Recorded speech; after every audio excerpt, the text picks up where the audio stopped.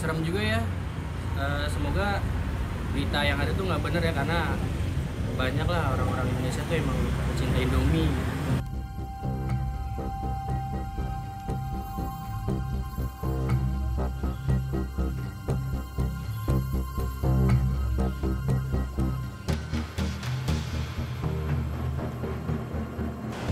bahayalah benda tu. Sebab basically kita benda tu adalah satu makanan yang staple. Senang kita nak makan. Student lagi-lagi student kan. Lepas tu makanan pun murah. So basically we're playing Russian roulette lah dengan kita punya makanan.